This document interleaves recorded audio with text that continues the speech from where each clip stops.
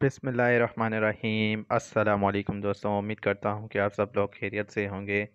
दोस्तों, आज की इस वीडियो में मैं आपको बताऊँगा कि आप किस तरह से फ़ेसबुक में प्रोफेशनल मोड को टर्न ऑफ़ कर सकते हैं। जी हाँ दोस्तों, आज की इस वीडियो में मैं आपको कंप्लीट मेथड बताने वाला हूँ कि आप किस तरह से फेसबुक में अपने प्रोफेशनल मोड को टर्न ऑफ़ कर सकते हैं। तो वीडियो शुरू करने से पहले आप सबसे एक छोटी सी रिक्वेस्ट है कि अगर अभी तक आपने मेरा चैनल टेक्निकल समी सब्सक्राइब नहीं किया तो सब्सक्राइब कर लें और साथ में दिए गए बेल आइकन को ज़रूर प्रेस करें ताकि हानि आने वाली वीडियो का नोटिफिकेशन सबसे पहले आपको मिल सके। तो बगैर टाइम ज़ाया के वीडियो को शुरू कर लेते हैं। तो दोस्तों, सबसे पहले आपको अपने फेसबुक को ओपन कर लेना है। फेसबुक को ओपन करने के बाद यहाँ पर आपको अपने प्रोफ़ाइल वाले सेक्शन में चले जाना है।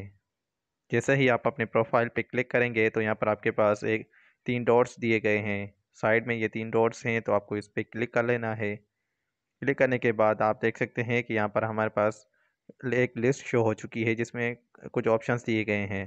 तो सेकंड लास्ट ऑप्शन आप देख सकते हैं कि यहाँ पर लिखा हुआ है टर्न ऑफ़ प्रोफेशनल मोड। तो आपको इस पर क्लिक कर लेना है।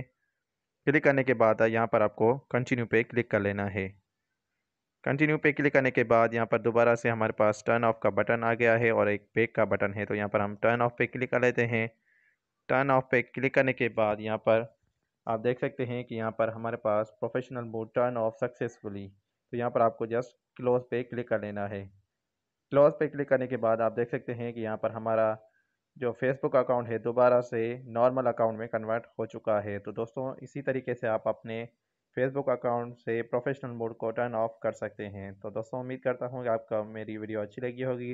वीडियो को लाइक करें, चैनल को सब्सक्राइब करें और साथ में दिए गए बेल आइकन को ज़रूर प्रेस करें ताकि हर निभाने वाली वीडियो का नोटिफिकेशन सबसे पहले आपको मिल सके। तो मिलते हैं एक न्यू वीडियो के साथ। तब तक अपना ख्याल रखें। अल्लाह हाफिज़।